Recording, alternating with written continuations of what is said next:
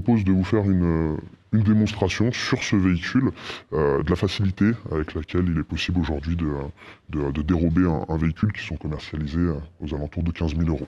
Je vais vous montrer comment du coup le démarrer sans la clé, avec le boîtier, et euh, vous verrez le résultat reste le même, et malheureusement les voleurs bah, peuvent démarrer le véhicule de la même manière que, que le propriétaire. Donc il faut déposer ce capot, qui vous verrez n'est pas sécurisé, il n'y a pas d'écrou, il suffit vraiment simplement de, de passer la main et de tirer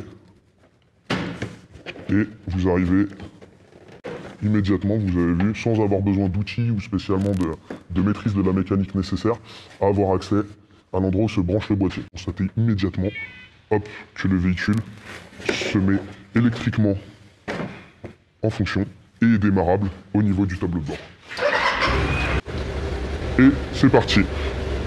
Le seul défaut sera de casser le bloc Neyman, ce qui n'est pas spécialement une chose difficile pour les, euh, pour les voleurs. Aujourd'hui, ce qu'il faut savoir, c'est que, ces, euh, c'est que ces boîtiers, comme vous le voyez, hein, ils, sont, ils sont moulés dans des, dans des boîtes de confiserie, hein, euh, comme vous le voyez.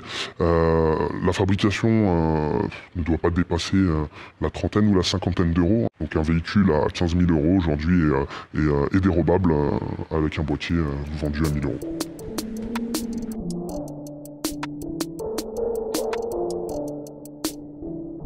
Nous sommes euh, complètement euh, informés de ce type de pratique.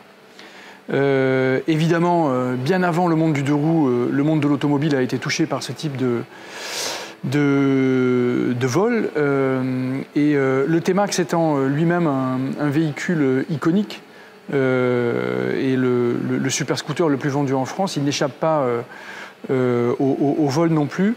Donc oui, ça fait un moment que Yamaha est au courant et euh, ça fait un moment aussi qu'on réagit. Nous remontons bien évidemment très régulièrement l'information au Japon auprès de nos ingénieurs euh, qui définissent d'année en année les systèmes électroniques embarqués euh, sur, les, sur les véhicules. Le T-Max n'est pas le seul à être soumis à, ce type de, de- fléau.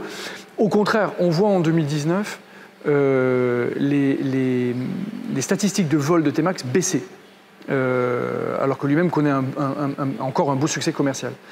Donc, les bonnes pratiques pour l'utilisateur final dans ce contexte-là, elles, elles sont plusieurs. D'abord, on l'a- déjà dit, euh, quand euh, le T-Max est équipé de série, ce qui est le cas sur les, les- hauts de gamme de, la, il faut demander à votre concessionnaire de mettre en route ce système de géolocalisation euh, négocié avec un opérateur téléphonique. Ça, c'est la première chose.